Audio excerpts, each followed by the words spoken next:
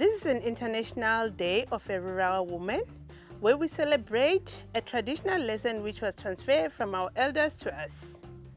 Eco Training ladies will tell us a lesson learned that's, that they still use till this day. Hi everyone, I'm Ezra Makamu. I'm the camp coordinator at Karongwe Eco Training Camp.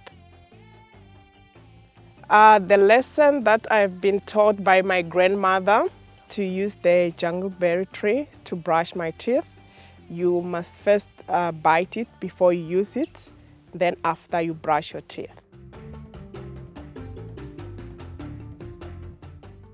Hi, my name's Lizzy. I work in eco training.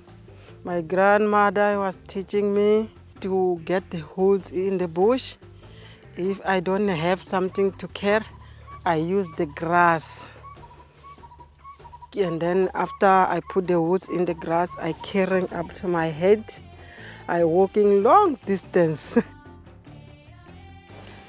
My name is Rosemary Maluleke. I'm coming from Makuleki village. I am a camp coordinator at Selati Camp.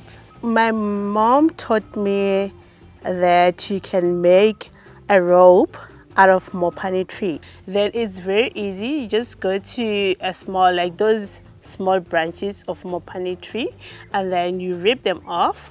And then once you rip them off there is actually a skin which can come off like a very long one.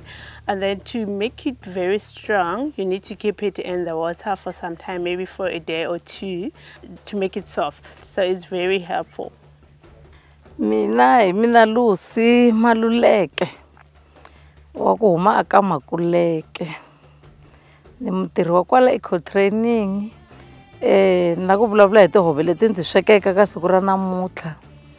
Tihove ku sweka ni dyondzisiwe hi mhani hi swi rhandzi swinene loko ha ha kula hi kule hi tona. Se that's why na namuntlha valungu la ni nga na vona ni te tanihi ku namuntlha hi siku ra ndhavuko